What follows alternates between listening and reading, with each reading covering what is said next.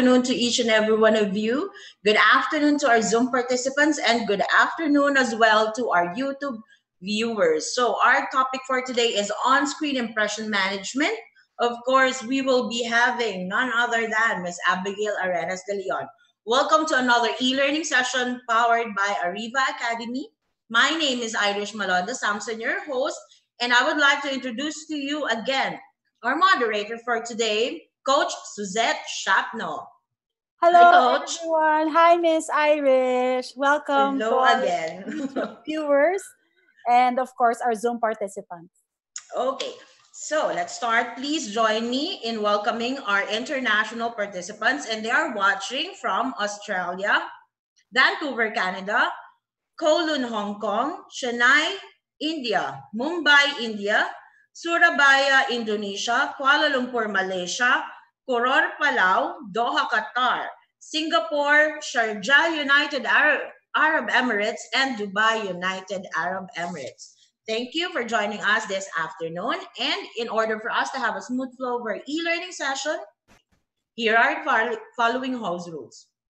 Okay, who are the first? We have a lot of attendees here in our Zoom, and we would like to know you better. So please type in hi. If this is your first time in watching our webinar, please type in hi and where are you watching right now? Hi to Warren, Gisela Cacho, Toneza Arcang Arcangel. Okay, Christian Shaima, Joe Vincent, Daisy, welcome. So this, okay, medyo marami. Arthur Benedict King, Someone is watching from Philippine Heart Center. Micheline Cepeda, welcome to our e-learning session. Kay is watching from Manila. Kay Suelto. Hello. John Leo Mabacquiao. Okay. Hi, Charlene Sacrista. I would like to know as well, the uh, our avid viewers, type in hello. This is their second time, third time, fourth time in watching Arriva webinars. Okay.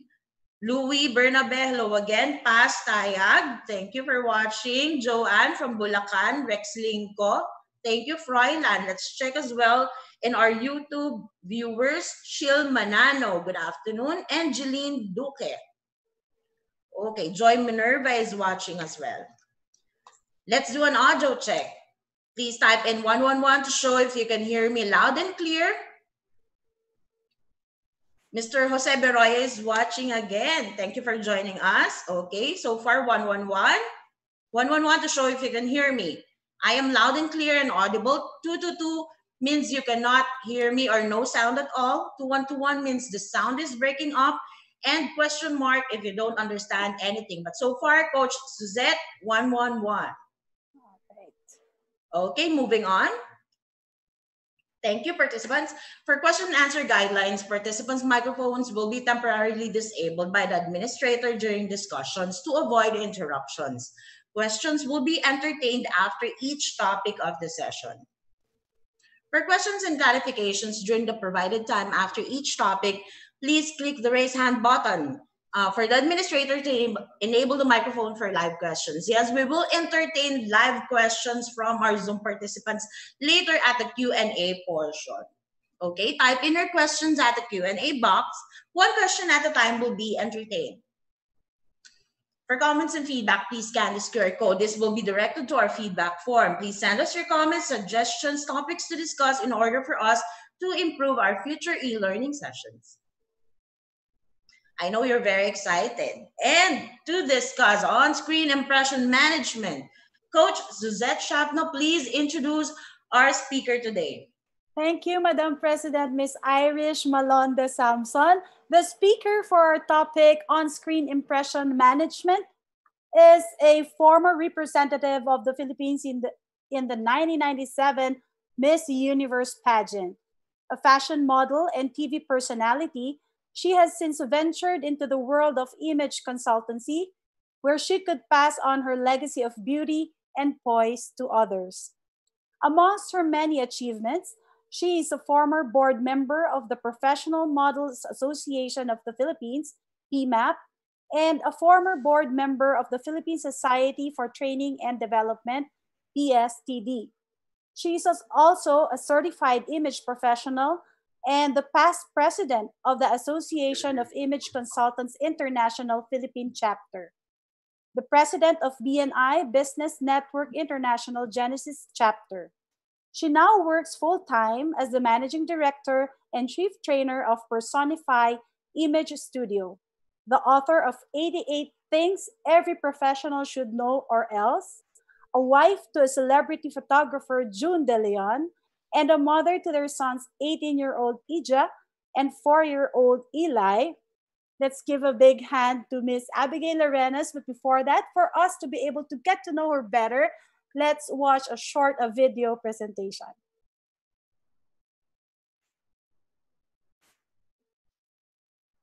Okay, so this is when, yeah. when this is when I say play video, please. okay, Miss Abby. You can play your video. Hi, how are you? Trying. I'm very good. I'm very good. Pretty now, as always. syempre, syempre, di ba? Now, I am still unable to share screen. Host disabled pa ako.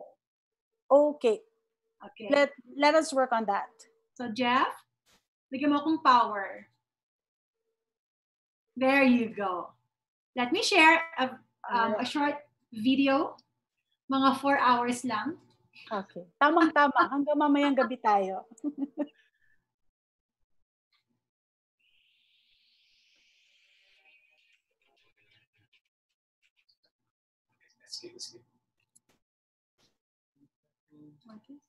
Hang on. Sorry. That's okay. Do it again. There you go.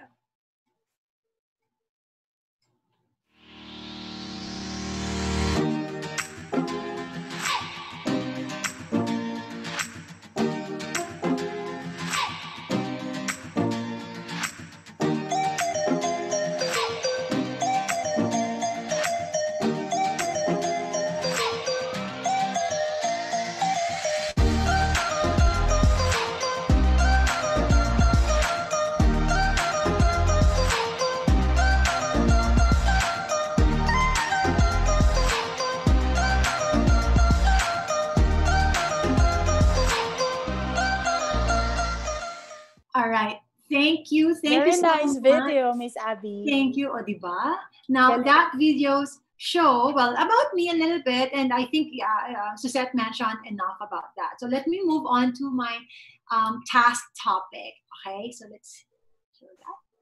Ayan. O, di ba? Meron akong katabi na ano, meron akong katabing assistant. Now, it's all about on-screen impression management. Now, um, Suzette, aamin ako ha, because before this, all this pandemic, I never did, I, I've never done a webinar before until last April 18. April 18 was, should I say, my, my launch as a webinar speaker. But I have been speaking for the longest time. You know, ibang-iba pa rin pag talaga sa webinar. So imagine mo, since April, so I'll show the next one. Mm-hmm. Okay. Ay, oh, question time agad. O sige na nga, question time muna bago ko magkwento. o question time muna. May question ako. The question right. is, Tingnan natin. Jeff, subukan natin yung question time. Yan. Are you ready? Okay, please type in or answer yes, no, or sandali lang po. Do we need to wait for you? Please let me know. There you go. There you go. Okay, okay so Rachel said yes. A, letter A. From Rosalinda, yes. From Zenaya, A. Yeah, a lot of them are saying yes, Miss Abby. Yes, so yes, ready. yes. Pero may tatlo na sandali lang po talaga. Antay lang kami dito. Yes. Yes. All right, I think we got that. I'm seeing a lot of yeses here, a lot of A's. Yes. Okay. Thank you all so much for get for saying ready na. Okay, dun sa tatlo, habol na lang kayo, ha? Okay, so I'm gonna have to escape and okay. Kaya ko na to dapat eh. Okay, sige. So tapos na yung question time. So I'll continue my my story. April 18 was, was my very first webinar. Now, what kept me busy is this. You know what, Suzette? Nung na-realize ko, nung ginagawa ko tong slide na to, I realized, ang dami ko na palang naging webinar. So, from Congratulations! April, that was the last, that was the first one until today. Tapos, bukas na naman. So, I'm very, very happy na na nakapag-adjust na rin, nakapag-adapt na sa bagong normal. So if you are new to webinars, if you are new to on-screen, huwag mag-alala, sabay-sabay lang tayo. Okay? So that's actually, actually my point. My point here is, lahat kaya pala nating i-transit. Lahat pala tayo kayang-kayang umadapt. Because I was so scared. I was so scared to set to death during my first webinar. I had no idea what to expect. I had no, hindi ko alam kung tatanggapin ba ako ng tao. Pero only to realize after a month and a half na hindi ako tumitigil, research and perform and everything. Yeah. So now I am happy that I'm back here sharing all this on-screen knowledge. Okay. You so were amazing, Miss Abby. I watched your first webinar You were amazing. Hindi oh, alam mo lang, sobrang lamig ng kamay ko noon. Grabe yon Okay? Pero ngayon, mas kampante na. A month and a half lang na practice, ha? Kampante na. Mas, mas kahit may technical glitches, parang poise pa din. Okay lang yan. Okay? Now, let's move on. Now, what why is it important to learn about or to have a knowledge about on-screen first on on-screen impression management? Okay. Meron ako nakuha tanong dun sa mga tinype ninyo, unang tanong, ano yung difference ng off-screen sa on-screen? Well, the difference is, off-screen, ito yung dati natin na wherein we present ourselves live face-to-face. So that's off-screen. Ngayon, usong-uso yung term na on-screen. Now, just like any given situation as a professional, it's very important to take care of the first impression, mapa-off-screen, mapa-on-screen. Now, eto ang totoo. When you are not ready you do not turn on your video. Tama ba? Kasi, minsan, may mga ginagawa, may mga ganyan, may ano-ano, hindi ka nakakilay. You, you tend to do audio. You know what? Sa meeting na on-screen, nakaka-minus yun ha? Because on-screen na nga lang, ginawa pa telephone call. So might as well, because people tend to, should I say, trust people pag nakakita ka ng actual na tao. So I would suggest, fully suggest, strongly suggest that whenever you conduct business on screen, you have to turn your video. Okay, now, um, let me see. I'd like to hear another, ano, ito muna pala, kala ko calling na, mamaya pa pala. Ito na, communication model. According to Dr. Albert Miravian, ang communication model natin consists of three V's. Visual by 55%, verbal by 7%, and vocal by 38%. As you can see, okay, yung Vocal, madali nating ma-detect because we know exactly when we use the right tone and when we use the wrong tone. The verbal, these are the words that we use. So alam na natin yan. Pero ito yung kailangan nating maintindihan today. Yung gaano ka-importante yung visual na nakakita. The truth is, we are uh, if, well, I'm seeing myself now on a parang two by two by one and a half inches screen. That's it people would actually depend on what they see on screen. So, mas very high talaga ang visual. So, yun ang gusto nating pag-usapan ngayong hapon. How to make that better. How to be visually more appealing. Now, anong topics natin? How do we go about it? Well, number one, technicalities are gonna be very, very important. Minsan, ang ganda ng sinasabi mo, pero yung technicalities mo, problemado, problema yan. Okay? Number two, on-screen body language. Maganda nga ang ilaw mo, maganda nga ang makeup mo, pero yung body language mo nakaka-negative ng message. So we're gonna have to talk about that next. And then, how to look sharp. S-H-A-R-P are the five contributing factors on how to look our best. Marami itong pag-uusapan natin sa set, pero itatry kong i-compress sa loob ng isang oras. Thank okay. you. Now, how do we address technicalities? Okay, tinan natin to. May question ulit ako. At ang tanong, ito na gusto ko nagpa-participate tayo.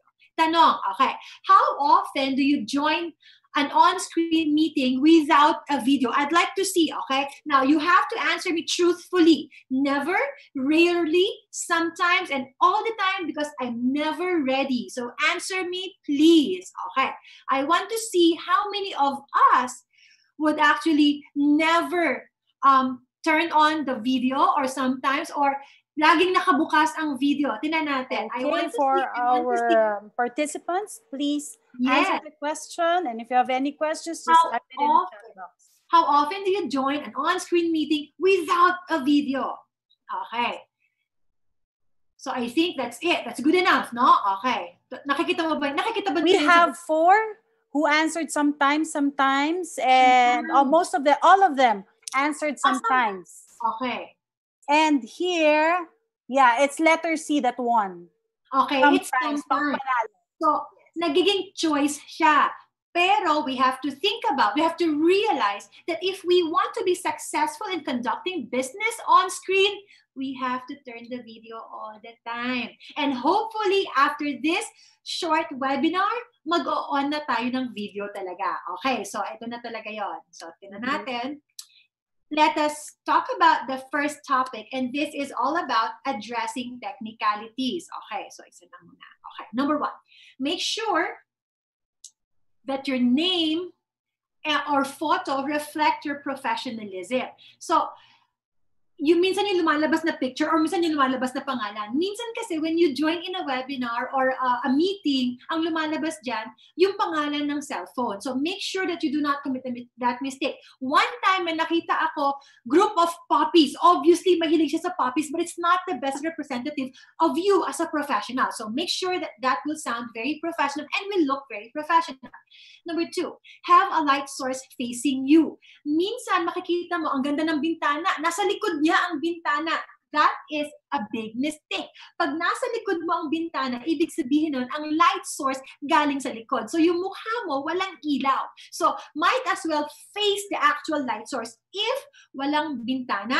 As simple, I'll, I'll show you, I'll show you, wait, wait, wait. This is my simple lamp, okay? Medyo nakaharap yan sa akin, or minsan patagilid ng konti, pero that is gonna be my own light source. So please make sure that the light source is actually facing your face para pag nagmi-meeting tayo, kita yung mukha. Number three is very, very crucial. Put your camera at an eye level. Okay. Min, ato, min, demonstrate ko lang. Let's say, for example, medyo mataas. Ayan, iba ang nakikitang view. So, kaimportante na yung, hindi rin pwedeng masyadong mataas. Importante na yung camera nasa eye level mo. If you need to put on pile of books on the bottom of your laptop, please do that. Pero, pero very important na tama yung angulo ng camera because set, ang dalas-dalas kong nakakita, That's right. madalas cellphone ang gamit. At pag cellphone ang ginamit, usually ilalagay yan, naka, naka, nakapatong sa table. So pag nakapatong sa table, hindi masyadong maganda yung view. Okay? So see to it that your camera is going to be on an eye level.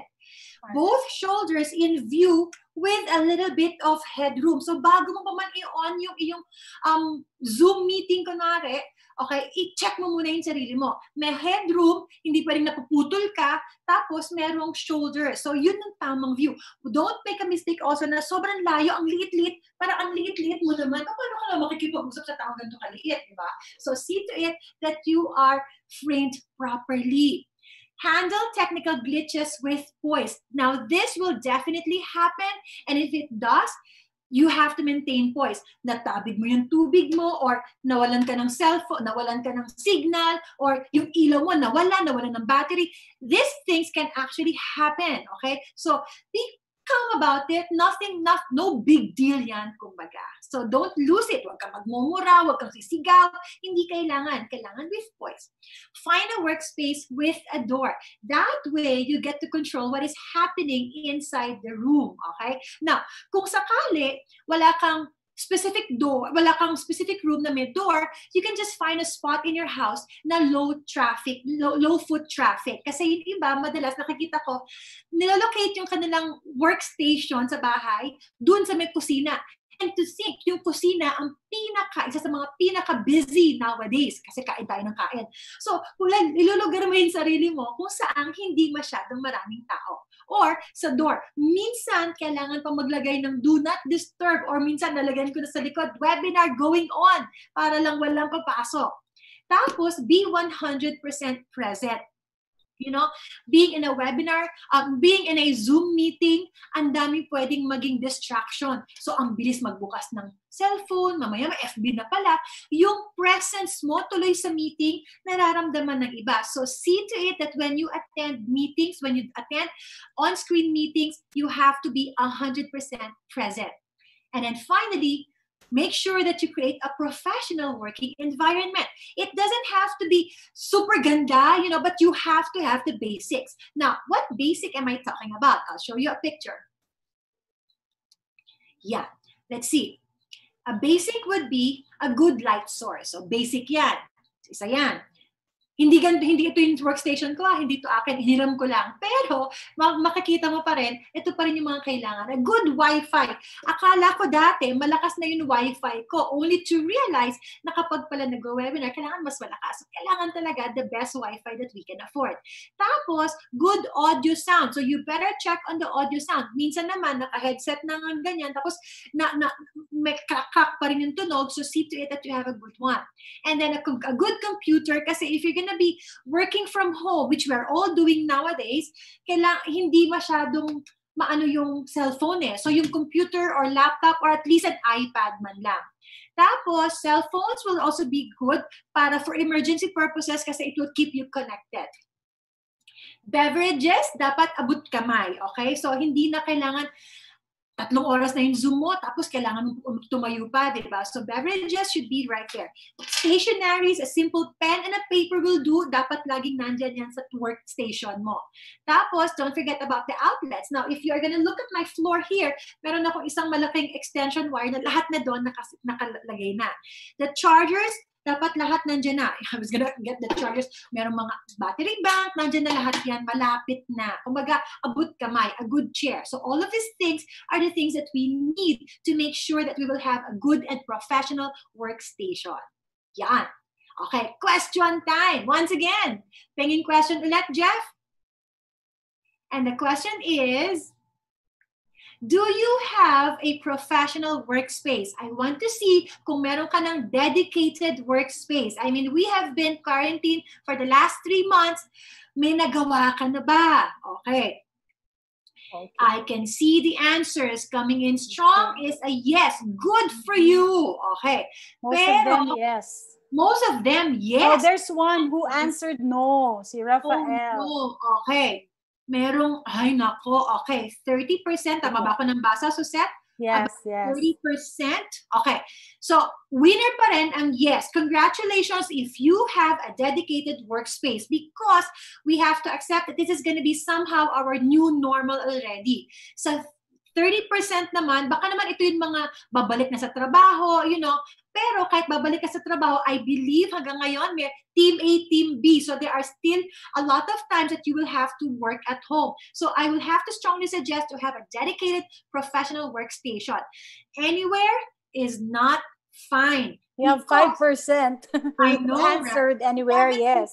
Anywhere is fine. You know what? Meron kasing psychological effect. You are not turning on your body na mas parang mas professional. What I'm saying is, yung kung saan ka natutulog, kung saan ka kumakain, kung saan ka nag-rest, kung saan nanonood ng TV, bubuksan mo yung laptop mo, tsaka ka magtatrabaho, it does not switch your mind into a more professional mode. So, if you want to maximize functionality, so parang, para ka rin papasok sa trabaho, kahit na ilang steps away lang, magbibihis pa din, you know, yung yung preparation, yung, yung routine na ginagawa mo, that actually helps us get into that work mode. Okay, so the suggestion is have a dedicated workspace. Okay, so moving on. Okay, I will entertain, Suzette, I will, we will entertain questions later, di ba? Yes, so, that's correct. After your presentation, we'll go on a break and then they have time to type their questions. All right, okay. So next, next, okay. On-screen body language. Now, ang dami nito, pero we will only talk about five and five, meaning five positive and then Five nga ba? Tinan natin ko five. And then five negative. Okay, now, look at this lady. I really like this picture because looking at her, ang simple sa likod, walang mga magugulo sa likod, pati yung buhok away from the face, pati yung damit niya, simple, hindi hindi maraming kung ano-ano. So, ang ganda niyan tignan sa screen talaga. Pero, kung dadagdagan pa ng body language, yung ngiti, alam naman natin na one will sound very different kapag ka nagkasalita ng ganito na walang ngiti. Di ba? Umiiba talaga. Pero pag ngumiti, that is a very positive body language off-screen or on-screen, very, very important as we present our piece or may present ka, may pitch ka, you know, if you have the highlight on you, I suggest that you will have to learn how to smile properly. So, smile lang talaga. Next to that, good posture. Ito, every time now when we talk about self-presentation, hindi hindi mawawala yung good posture. So, you really have to, kasi umiiba na kagad pagka humukot yung likod mo eh. So, good posture is really an expectation eye contact on the cam. Okay, now ito, mahirap gawin. Pero, kailangan talaga nakatingin ka dun sa ilaw. Okay? Sa green light na yan. Or, kung nahihirapan man, tulad ngayon, I try to position Suset near the camera para yung mata ko hindi masyadong malayo. So, imagine if pinosisyon ko si Suset, nakausap ko sa baba, yung mata ko nasa baba. So, you're gonna have to position yung, yung eye level mo as near to the camera as possible. And then, nod when needed. Nod when needed. Now, ito na. Minsan, or should I say madalas, naka-mute tayo. Pero pag nakikipag-meeting, mas magandang naka-audio, naka-video on. Audio off, video on. That's the way to go. Tapos we listen to that. Pero, ibig sabihin nun, hindi porque naka-audio off, hindi tayo nakakita. When there is a point wherein you actually agree, nod when needed. Okay? So, minsan ngumingiti, minsan gumaganyan. Di ba? Yun yung mga, yung mga, eto na, yung mga negative body language. Kasunod yan. Look at this. The top five most negative body language. Ito yung mga hindi gagawin. Okay. Sliding on the seat. Minsan, matagal ang meeting. Ayun, sumandal na. So, look what happened lumiit ako, lumayo, at saka yung itsura na parang hindi interesado. So we do not want to slide on the seat. Now, fidgeting. Now, kung mapapansin mo sa set, kapareho din ng off-screen. Kahit sa off-screen, nasa boardroom ka, nasa meeting ka, you do not slide back like that. We do not fidget, meaning yung mm-hmm. nagkukukot ng kung ano-ano, kung ano-ano. Minsan yung ginagalaw yung ballpen, ginaganyan, ganyan. That's fidgeting. And fidgeting is not gonna add to our professional image swiveling your chair. Very, very common mistake. Look at this. Naka-audio off ka. Tapos naka-videoan ka, gumaganto-ganto ka. So it looked really, really playful. So as much as possible, do not commit the mistake of swiveling your chair constantly touching your face. Yun maya maya, kung ano nung maya maya, ayos ng ayos. Minsan, may salamin kasi, nako-conscious, ayos ng ayos. So do not touch your face even in an on-screen meeting. And then resting on your, resting your face on hands. In Tagalog, saluk baba. Sobrang dalas ko nakakita ito. I mean, if it is a casual meeting, let's say, personal meeting among friends, you know, you can, you can talk like that, you know, parang nagchichismisan ka lang kayo. But then again, once it is on a professional meeting, professional side, professional meeting, do not rest your face on your hands, please. Okay, so lima lang because mauubos ang oras natin talaga. Mm-hmm. Pero when you think about it, ang dami-dami talaga nito. Okay, question time once again. Tingnan natin. May tanong ulit ako.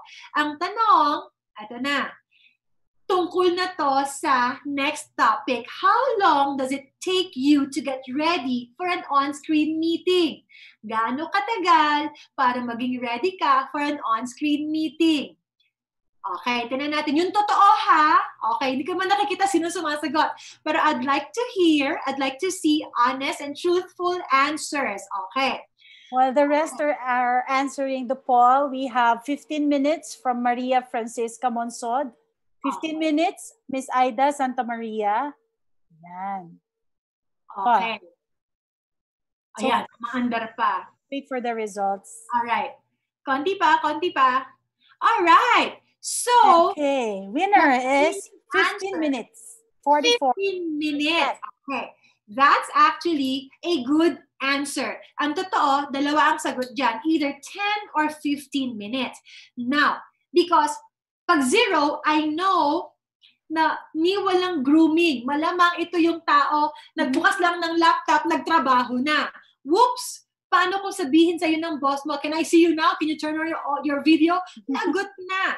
Yung two minutes, alam ko ang pwedeng mangyari sa dalawang minuto. Hilamos, or should I say, toothbrush lang yan. So yung two minutes, toothbrush lang, siguro nakapag ng book ng konti, pero kulang na preparasyon. Yung five minutes, although yung iba, sasabihin, lalaki ako, pwedeng toothbrush, t-shirt, suklay, pwede na yan. Sige na nga. Pero the most ideal will be 10 to 15 minutes because in 10 to 15 minutes, I know for a fact na naligo ka, I know na nagsuklay ka, I know na nag um, toothbrush ka, alam ko din na nagpalit ng damit, syempre nagbihis, at saka nagkilay man lang or lipstick man lang. So I know for a fact that you had enough time to look professional.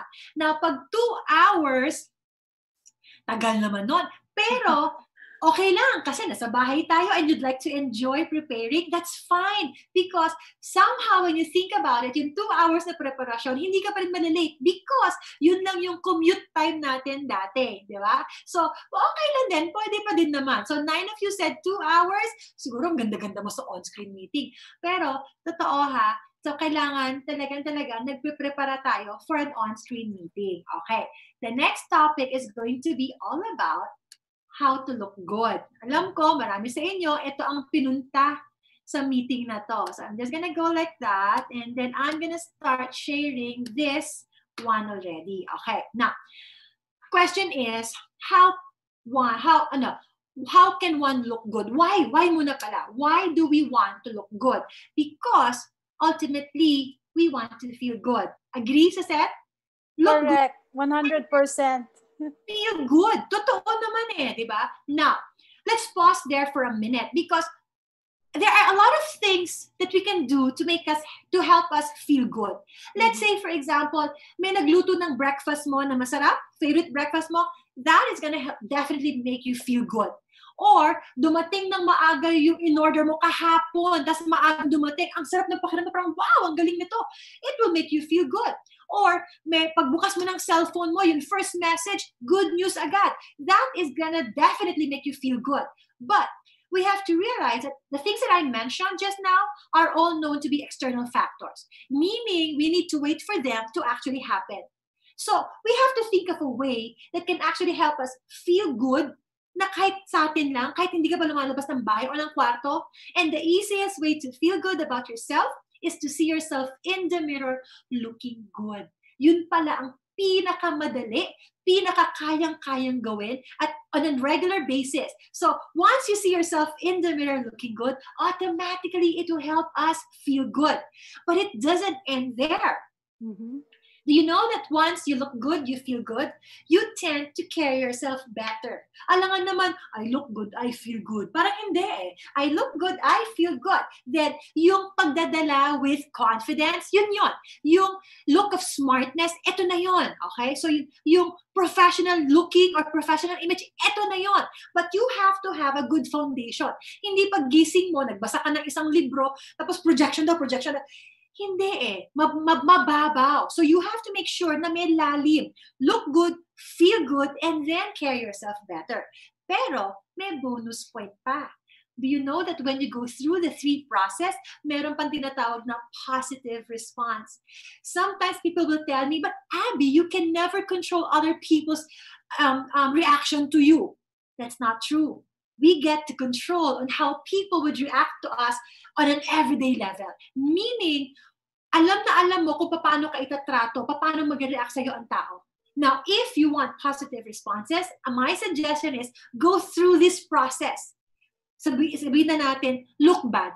Definitely, it's not gonna help you feel good. Definitely, it's not gonna help you project well. Definitely, you will only get negative responses. So you get to control that. If you want to change that, then might as well decide look good, then feel good, then care yourself well, then get positive responses. Ultimately, in business, that's exactly how we want all our customers to react to us. You kailangan positive parate yung response. And then that will result to good sales, that will result to good customer service. So, ito yung gusto natin. Akala kasi natin minsan, ayun looking good, mababaw. But when you look at it this way, it's nowhere near mababaw. It's really deep to the point that it will result to a good business. Now, ang question na lang, how can one look good? Akala ng iba kailangan apat ang gawin. Hindi. Isa lang ang gagawin dito. At pag ginawa natin ito, it will help us, kumaga automatically, the three will follow. Let's focus on how to look good. Ito yung gusto kong ikwento sa inyo ngayon. How to look sharp.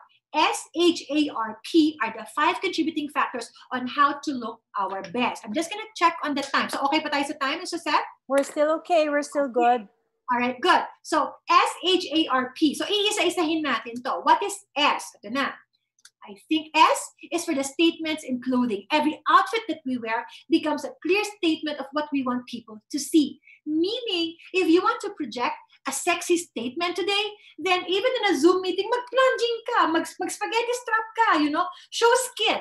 Tapos, red, red lips, tapos kapalan mo ang eyeliner. That's already sexy. So, you can control that. Gusto mo ng um, sporty image, humarap ka sa Zoom meeting mo na naka-cap, na naka-t-shirt. That's automatically a sporty image. So, if you want to appear professional, mag-jacket ka, mag, mag-cardigan ka, or mag, mag, mag-long sleeves ka, automatically, you create a statement. H. H is all about the detailing. H is for high-end details. We're not have to talk about this step by step. So, let's say, yung haba ng hikaw, yung color ng buhok, or yung, or yung detalye ng yung mga lumilip, mga makinang, makinang na collar, may ibig sabihin yan. So, na umaakma ba dun sa professionalism na gusto natin? We're gonna have to talk about that in a bit. A is for appropriate hairstyle. Now, on Zoom, or in any any any on-screen meeting, there's one rule, hair away from the face. Kapag kayong mga book natin na nakakalat na ganyan, I'm not saying bangs ha, bangs are okay as long as they do not fall on the face. So that's fine because if you want to establish trustworthiness, you have to show off all of the features of the face. So kita yung mata, ilong, bibig. So appropriate hairstyle. I'm to show you pictures in a bit. R, of course, is for the required personal hygiene. Akala ng iba, hindi nakakita ang hygiene. I will show you a picture in a bit that hygiene can be seen. So you really have requirement ito. You really have to do that. P is for perfect finish. For in, we talk about the power of makeup. Okay, not so much, pero a little bit will go a long way, especially on screen. But I have some techniques on how to do that. So let's start with the first letter, S. Okay. S is for staples and clothes. I'm just going to show you pictures. Now, from this standpoint, okay, kahit hatiin mo siya, kahit, kahit yun sa taas lang na ganyan, from this to this to this, umiiba na kagad. So, I'm not saying that you need a necktie all the time, but my point is you get to control on how you would create a statement on screen. So, hindi sa lahat ng pagkakataon acceptable ang t-shirt. Hindi sa lahat ng pagkakataon acceptable ang necktie. Depende kung anong klaseng profession, depende kung anong klaseng meeting ito. Now, let me give you the lady version of this. From this to this to this. Makikita mo, it's the same person. Pero because of the outfit, umiiba kagad talaga. So, this is when I say, yung outfit natin, it becomes parang a role that we got to play. Okay? So we we control that. So if you want people to believe you because you are selling a 10 million condo unit, I'm gonna have to say, then put on a suit. You have to look like a 10 million peso worth, you know? So hindi naman po pwede na, kunwari, ang, ang business mo medyo um, in the industrial, let's say, kunwari, okay, we sell squid balls. So, yung suit, hindi siya magre-require. So, kailangan titimplahin mo. Now, tinan natin paano natin titimplahin. I'd like to show you this. There are six classifications of casual attire. These are all casual attire. Tinan natin. First off, we have what we call the active casual. So, active casual, obviously, ang ilalabas niyan parang sporty, parang, parang on the go, di ba? So, if it's gonna be a meeting with the mancom, this is not gonna be the best idea. Tapos, rugged casual, ito na yung mga caps, may mga, minsan may mga sa, sa off-screen, may backpack pa yan. Okay, rugged casual, parang mag-outdoor, parang mag-mountain hiking, parang mag-mountain climbing, parang magka-camping lang, di ba? Sporty casual, I like to call this um, pang dyan-dyan lang. Okay, so among friends, um, Zoom party with friends, that these are, things are all acceptable. So we normally wear active, rugged, and sporty during our personal life. But the beginning of our professional life, ito yung requirement. Professionally speaking, at least smart casual. Now, ang smart casual, may, may dalawang level pa yan. I'll show you pictures in a bit. There's smart casual and then there's business casual. And then there is dressy casual. Dressy casual are expected after 5 o'clock dressing. Okay, after 5 o'clock dressing. Pero yung smart and business casual, ito yung ina-expect sa mga professionals. And I'd like to show more pictures of that. But before we do that, question time. Okay, from what you have seen dun sa six classifications, I'd like to ask the question. What is your expected outfit when you are working from home? Or habang makikipag on-screen meeting tayo, what are the expected outfit? Okay, ayan na, umiiba-iba na ang sagot.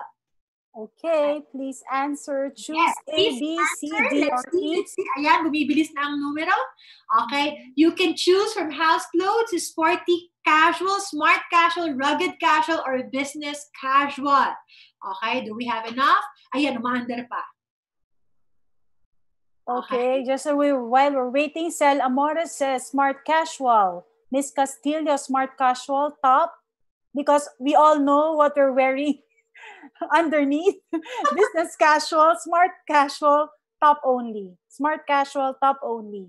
Top only. O sige na nga. O, Smart sige na. casual, yeah. Okay, eto na. Meron na nanalo. Ang panalo is, okay, majority of us would wear smart casual. That's pretty good. Okay, now, I have a little problem with the house clothes kasi tayo mga Pinoy, pag sinabing house clothes, pambahay na pambahay talaga. As in, luma, komportable, maluwag, you know, may sira. Ito yung mga gusto-gusto natin. So, I would have to say, if you prefer house clothes or it's okay for your company, you to be wearing house clothes, see to it na hindi sira, see to it na medyo presentable naman ng konti, okay? Now, sporty casual, I would imagine na nasa sports industry tayo, siguro, that's why it becomes acceptable. Pero 25 people said business casual, malamang highly corporate ito, so good. At least, rugged casual, Okay, so smart casual pa rin ang winner. Second to it is business casual. That's why I want to show more pictures on this um, on this category. Okay, so I have that. Gonna remove this. Okay, tinan natin. Next, ito na. Smart casual. Okay, ito yung winner natin, di ba? So sa smart casual, we have two scales. May upscale, may downscale. All of this are considered to be smart casual.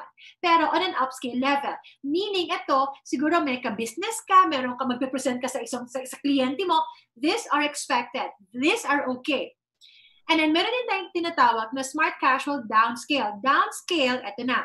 So, pw- pwedeng t-shirt material pero long sleeves. That's a downscale, okay? Or a third piece. Minsan, simpleng top at saka cardigan, that becomes a downscale. So, titimplahin mo talaga kung sino ang kausap mo. So, titingnan mo din. Kasi importante din na may rapport ka. Hindi rin pwedeng sobrang layo naman. Na, kung yung kliyente mo na alam na alam mo na nakapambahay, then I would say smart casual downscale. But if you're gonna meet with a person na ang alam mo na every time magkikipag-meeting ito, naka-necktie, I'm gonna have to say smart casual upscale. Makikita mo yung difference. And then this is a smart casual upscale for men and this is smart casual downscale for men. Now, akala kasi ng iba, i-collar mo lang, okay na. But depende din sa kulay, depende sa fabric. Now, makikita mo sa smart casual downscale for men, a third piece is also, um, it adds element to our complete outfit. So minsan naka-t-shirt ka lang sa loob pero pag naglagay ka ng cardigan, naglagay ka ng pampatok, that's what we call the third piece, um, kumaga uma-adjust, mas nagiging acceptable na professional yung outfit. But tapos of course you cannot go wrong with a collar na kahit na half or half ano yan, short sleeves or long sleeves, pwedeng pwede din. Pero yung cotton material. And then we have this one. Business casual upscale. Ito na. Let us say, for example, ito, sususet na invite ako na sa BNI meeting. BNI meeting, puro, puro highly corporate people. So we are expected to be in this outfit. So, terno talaga yan. Ah, hindi pala. Minsan hindi ko na sinusot yung pambaba. Pero medyo, medyo naka-button at saka yung, yung material talagang pang suit material. That's upscale. So may mga time na marirequire tayo niyan. Pero business casual downscale is also considered to be business attire on a downscale level. So minsan kahit mismatching na, magkaiba yung magkaiba yung taas at saka baba or magkaiba yung loob at saka yung labas. So pumupwede pa din. So these are all business casual downscale. Now let me show you the men. Business casual upscale, okay? So ito, siguro kung ikaw ang mag-lead, kung ikaw ang mag-facilitate, ito yung ini-expect sa atin. Or kunwari ikaw yung big boss, siguro ito yon, di ba? Okay, man, man-com meeting, attend ka, ito yon, okay? Pero may downscale pa rin na business casual downscale. Ito yon. So ang difference is, pag humaba yung barong, it becomes more upscale. Pag umiksi yung barong, it becomes downscale. But pareho silang business attire.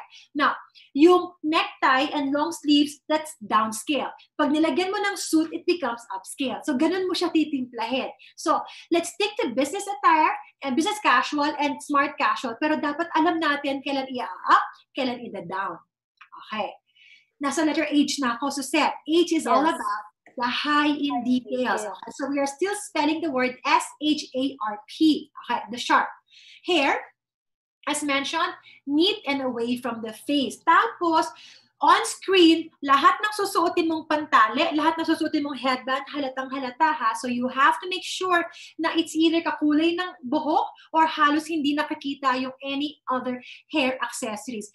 Hairpins, ponytail pwede, or headband, basta kakulay ng buhok. Minsan kasi mag-headband, tapos kulay green, di ba? Parang, teka lang, sa buong, sa buong screen, kitang-kita na yun kagad. So see to it that hair will be neat and away from the face for both men and women.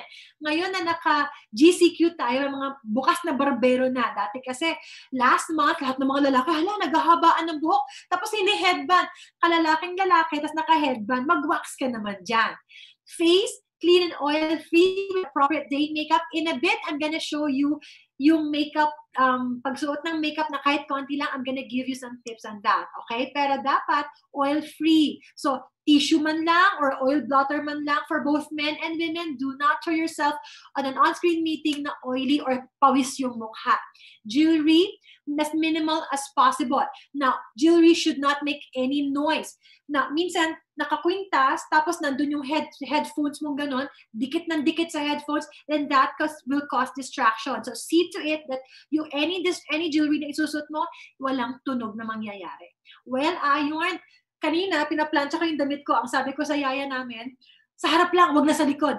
That works kasi on-screen naman, di ba? So, kung pwede na rin. Pero pinaplansya pa rin talaga ang damit. And then, bottoms, now, totoo, ang dami nagkasabi sa akin, kahit wala ng bottoms, kahit maliit na lang na shorts, or ano, pero I will have to suggest still na magpantalon or mag-skirt because, just because, let's say for example, may meeting tayo sa set, tapos I need yeah. to get documents from up there, tapos makikita mo yung ilalim ko, tapos makikita mo, off na off, di ba? Or minsan nakapajama. Yeah. Better so, be safe. better be safe, di ba? It's just, you know, siguro yung paa hindi na makikita. Pero I also got um, a reaction na bakit hindi ko po magsapatos para feeling buong buo talaga. That is a good suggestion. Kaya lang sa akin kasi, I live in a condominium, so pag nagsapatos ako sa loob ng bahay, baka madumihan pa yung sahig, eh may baby kami, di ba? So, okay na na nakachinelas, basta pag tumayo ka, somehow safe na makikita yung pantalon mo o yung pag-ibaba. Okay? Kasi meron na nangyari niyan, di ba sa set din sa ano, um, okay. news anchor pa siya, hindi niya alam na nakakita pala yun hanggang sa lap niya. Tapos siya parang confident na confident pa pala. We don't want those kind of things to happen, di ba? Tapos, ito na, may additional ano lang ako. So, color, overly bright or extremely dark colors do not translate well on camera. So, as much as possible, hindi sana magsusolid. So, you break the color a little bit or um, patterns, avoid busy patterns such as animal prints, of course. Tapos, dress conservatively, properly fitted, avoid tank tops, low cut tops, crop tops, anything sheer or myth. Imagine mo kung naka-sheer ka, tapos pag on mo ng ilaw mo, ang liwanag pala, di ba? So, iingat din tayo sa mga ganon. And then again, make sure that your jewelry are not too over sparkly. Also, best to avoid um, not moving jewelry. Yung mga hikaw na gumagalaw na yan, hindi rin sila advisable. Okay? Explain ka na explain, tas galaw ng galaw, di ba? So, yung on-screen tsaka off-screen, as you realize, hindi nagkakalayo. Kasi pagka sa off-screen at meron table na habang nasa meeting, ito din naman yung nakakita, di ba? So, nag, nag, nag, nag-translate lang talaga sa on-screen. Nasa R na tayo. Ay, nasa A pala tayo. Naku, A pa lang. Okay ka pa, Suset? Oh, yeah. A, yeah, of course, is for the appropriate hairstyles. Now, hair must be away from the face, clean and dandruff-free. Okay? Hindi mo kang bedhead kung gising. Natural looking color. Ayan. Natural look. Am I okay? Natural looking color as much as possible. Okay. Now, all of these pictures are, kumbaga, will look professional even on screen. So, kahit nasa on screen, yung mga yung mga bedhead, yung mga oily oily hair, nahahalata din yan. So, see to it that it will speak professionally about us. Naku, set dyan, sabi ng iba, eh, paano mm-hmm. ito? Pang, ano pang artista? Ang tanong, ano ba? Diba? So, pa, kailangan appropriate sa position, appropriate sa industry. Now, mm-hmm hindi kita pipigilan if you're gonna be like in, in the in the entertainment industry it's totally fine you know you can you can sport this medyo wild or medyo medyo updated na hairstyle but when you are talking about corporate image i'm gonna have to say be as conservative as possible and then ato R is, of course, for the required personal hygiene. Akala ng iba, hindi nakikita ang hygiene. Now, we still have to make sure that we have clean and well-groomed hair, healthy-looking nails. You know, as we speak, di ba? We speak with our hands as well. So, kik nakikita pa din yan. And then well-groomed facial hair. So, yung mga lalaki, nag-shave pa rin daw kahit on-screen. I'll show you, wait lang. Clean mouth is a requirement. Iba yung pakiramdam pagka alam mo madumi yung bibig mo umiiba yon. And then consider daily hygiene to include the bath, the shave, and the use of deodorant. So, iba pa din ang pagdadala sa sarili on-screen pag alam mong nakaprepara ka mula ligo, toothbrush, you know, hair and makeup, kasama yon. I'll show you this. Look at this. Sabi ko sa inyo eh, di ba? So, pati yung shaving, nakakita yan on screen. Pati yung buhok na naka-gel o yung buhok na magulo, nakakita yan on screen. Okay, yun iba? Ano ko, para hindi makita na magulo, ikakap. Eh kung hindi naman yan acceptable sa industry mo, it might send the wrong message. Ito na. P is for perfect finish. Last letter na ako. Mm-hmm. Now, ito, pinakita ko na to nung, nung April 18, pero sa mga hindi pa nakakita, I'm gonna show you this because this is very, very important on Zoom. Makeup. Makeup is essential. Look at this. This is me. This is me before with no makeup at all. This is how I look like when I when I cook in the kitchen. This is how I look like when I take care of my kids. So this is me. But this is me after a little bit of makeup. This is about a three minute makeup. After makeup, one can actually look more professional already. So anong makeup yan? Face powder, eye makeup, cheek color, lip color. Three to five minutes, yan ang kayang magawa. So ang ganda. May, pwede na. Maganda. Maganda before and after. Ba't ganun? ano ba? Okay. Tapos, ito pa, may magic yan, Jose. If you, well, we are all in Zoom. Hindi ko alam kung nagawa na ninyo. Sa Zoom, if you look at the video, dun sa may video, di ba, may arrow yan. Pag kinlik mo yan, meron dyan, video settings. Sa video settings, meron dyan, uh, touch up my appearance. Look at, tinan mo nagagawa ng touch up my appearance. Yun. Diba? So, itong nakikita nyo ngayon, naka-touch up my appearance kaya ako. So, gagawin natin lahat ng feature, lahat ng pwedeng gawin to look really good on Zoom. So, it is just, ano, gusto mong gawin, ano? Sige, gawin mo sa Tama! Ang galing mo! Apply yeah. what I'm learning! Diba? Diba? Pero, totoo, imagine if you have the right lights, tapos you right, have the right angle, and then you do the touch-up my appearance, so hindi mo kailangan mag-effort ng madami, but it will actually, it's a very, very good feature. That's why I love doing Zoom, just because of this particular feature. Kasi parang feeling ko, ang ganda-ganda ko. Pero totoo, I mean, you know, we will maximize everything that we can to look good on screen. Okay? I think that is me already. Okay? Now, pero, um, Zed, may share lang ako ha, permission to share. Go. Now, this is one of my last slides. Looking good is not all about self-importance. Looking good is all about self-respect. Okay? So, it's not vanity. Looking good is not vanity from the cycle that we have just discussed. It will give you positive results in business. Okay? Now, um, final question time. I have my last question. And the question, Jeff, is how much did you learn today? I'd like to know if you learned something today. Is it nothing? Malulungkot ako pag nothing. Is it mm-hmm. so-so? Or is it a lot? Or is it so much? Diba?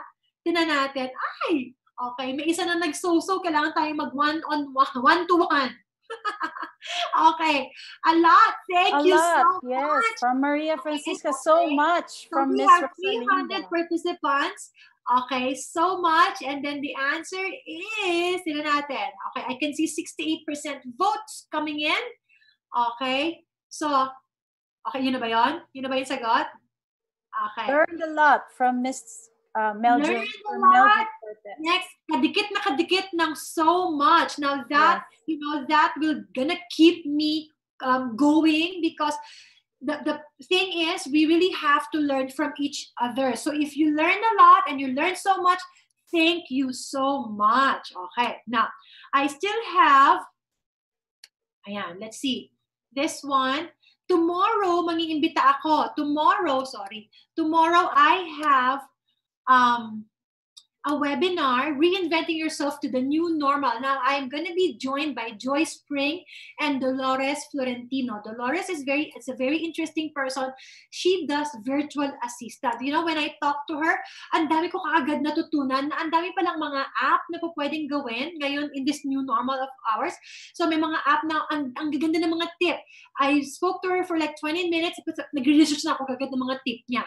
And then, of course, si Joy Spring Trevino talks about productivity activity naman. So please join us tomorrow. So uh, I don't know, share this link. I don't know how to share this, but if you go to my website, okay, so in a bit papakita ko. So this all the all the courses offered at Personify. So we do professional image development.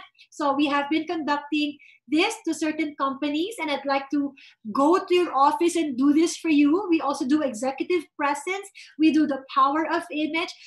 Suzette, looking at these pictures pala, nakikita ko yung mga dati nating face-to-face. Ang saya, oh, di ba? Miss, di ba? Yeah.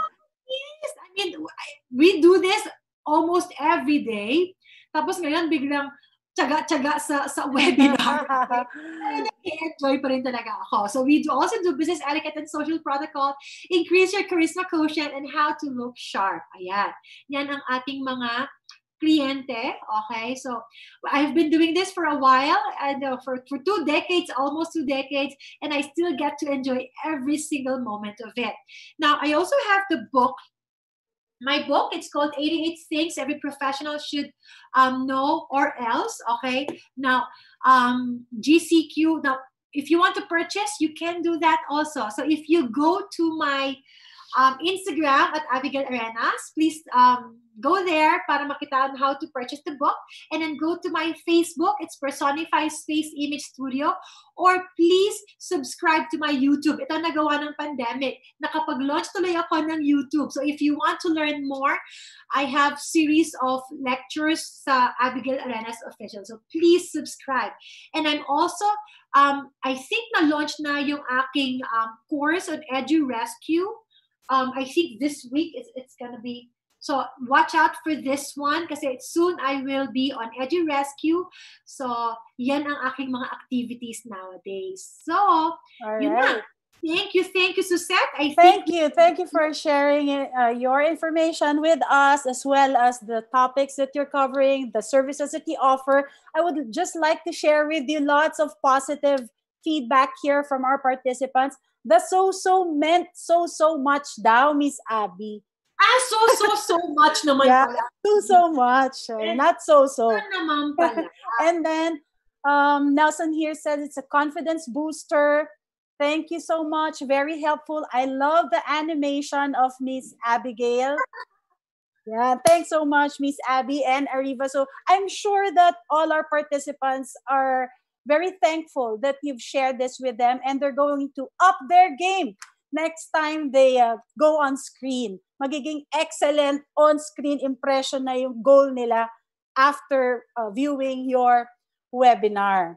So at this point, we are going to go on a break. So you can take a two-minute break, Miss Abby, while also you prepare for the questions for our viewers watching in YouTube and also for those watching in Zoom, please type in the Q&A chat box your questions. And also for the YouTube viewers, we have a comment box there. Please don't hesitate to write questions. And we also have our present questions that I'll be reading in a bit. So I'll see you again, Miss Abby. Thank you. A lot of key takeaways here, which I will be sharing with you in a bit. So we'll pause for a two minute break and question and answer when we come back. All right. See you in a bit. Prepare your questions.